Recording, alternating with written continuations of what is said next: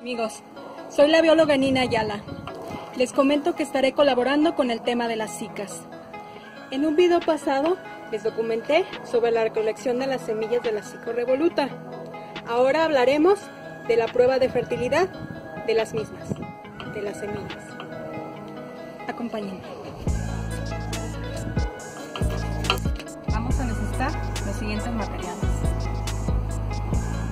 Un agua, un frasco con agua, así como la que tenemos aquí. Y una semilla de Miren, aquí tengo 10. Aquí se ven así como con estrías, pero es el momento para hacer la prueba de fertilidad. quiero hablar más de este tema. La prueba de fertilidad consiste en lo siguiente. Una vez que hicimos la recolección de las semillas, las almacenamos por un mes. Después de este tiempo, están listas para la prueba de fertilidad. ¿Cómo se realiza la prueba? Simplemente las semillas se colocan en un recipiente con agua. Aquellas que se hundan son, son, fértiles y si flotan es porque son infértiles. ¿Por qué pasa esto? Es porque algunas semillas no logran fertilizarse, es decir, no forman un embrión. En lugar de esto, forman una bolsa de aire que les hace flotar.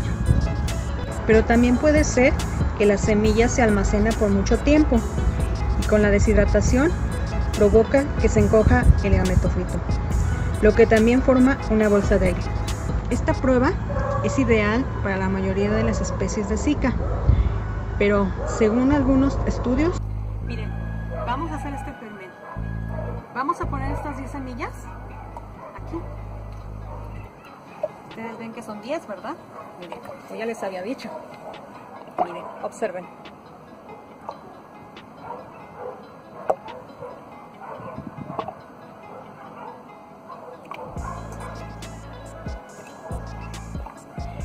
Y como también podrán ver, miren, esta no, no, este, no se fue para abajo, no descendió.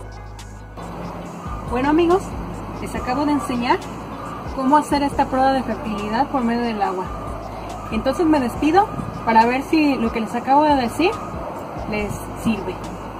Hasta entonces.